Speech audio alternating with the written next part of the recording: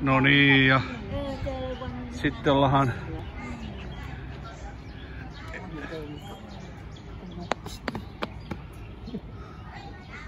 Sitten ollaan edetty tänne jo tuota, niin virastolle, josta haetaan sitten se leima. Jaa, siellä olisi vähän jotakin syömistäkin tarjolla. Tipitapas siinä koulukaverinsa. Näistä ei aina osaa sanoa näistä kaikista, että onko ne miehiä vai naisia, kun täällä on niitä kumman, kummankin päin. Sekä miesnaisia että naismiehiä. Tuo oli kyllä mun mielestä nainen tuo, mutta se on niitä toisen sorttisia. Ja täällä on sitten tämä, tämä tuota niin, niin, virasto, josta käsittääkseni täällä, täällä on sitten tuota niin, ajokortti hommatkin. Pitäisi vain se saada aikaiseksi. Hakia se ajokortti. Paikallinen kortti on aina kolme vuotta voimassa.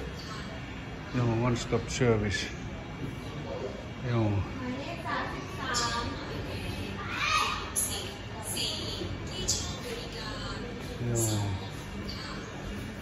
Täällä on väkiä, mutta ei tuota kuulemma maanantaisin on enemmän väkiä. Että tässä on kans tosiaan, tässä on katsastusasema kanssa.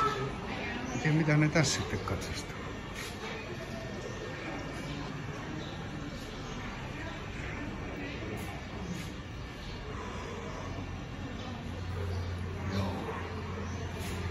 Tuolla on vissiin sitten tuolla yläkerrassa.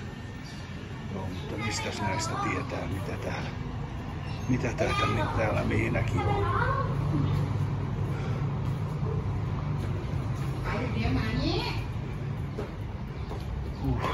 Lämmin on taas päivä, kyllä ei siinä mitään.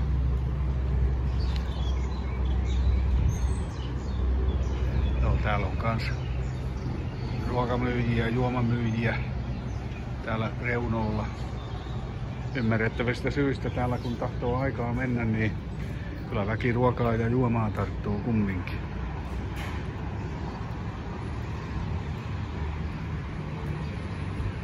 Joo.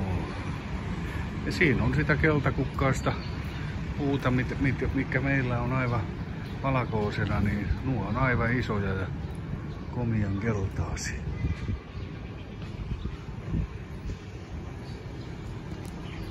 Mutta, mutta tämä riittää tästä paikasta. En mä enempää pidetä tätä videoa. Kolme minuuttia vähän reilu.